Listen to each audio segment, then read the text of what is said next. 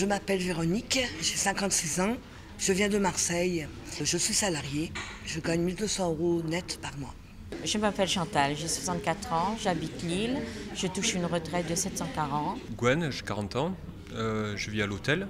Je vis avec 718 euros par mois entre RSA plus allocation logement. C'est la vision très réaliste que les Français, toutes catégories confondues, tous revenus confondus. On est au siège national du Secours populaire pour présenter les résultats de l'enquête menée avec Ipsos pour montrer malheureusement la montée de la misère, de la pauvreté dans notre pays.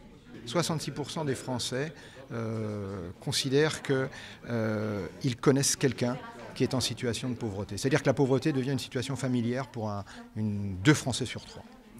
Et puis l'autre chiffre important, c'est que 86% des Français considèrent qu'ils sont inquiets pour leurs enfants, dont ils craignent qu'ils peuvent se retrouver un jour dans une situation de pauvreté dans le cadre des personnes qui sont accueillies par le Secours populaire, qui ont été accueillies en 2013, eh bien, on a appréhendé leurs euh, ressources, les ressources de ces familles, les charges euh, fixes auxquelles elles ont à faire face, et on obtient le chiffre de 5,6 euros par personne et par euh, jour comme disponible pour vivre.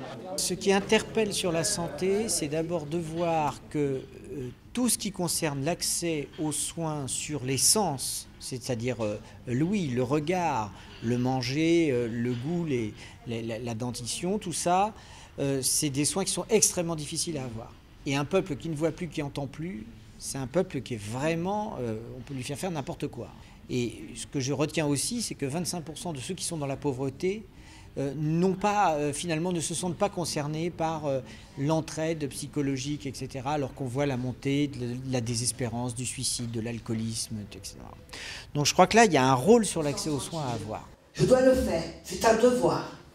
Un devoir, c'est une obligation. Quand on vit avec moins de 700 euros, 700 euros donc je pense qu'on est dans une situation de pauvreté.